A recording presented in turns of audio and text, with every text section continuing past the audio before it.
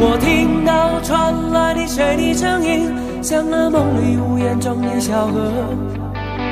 我看到远去的谁的步伐，遮住告别时哀伤的眼神。不明白的是，为何你情愿让风尘刻画你的样子？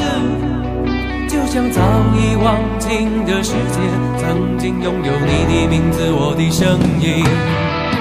那悲歌爱上过的往事。那看似满不在乎转过身的，是风干泪眼后萧瑟的影子。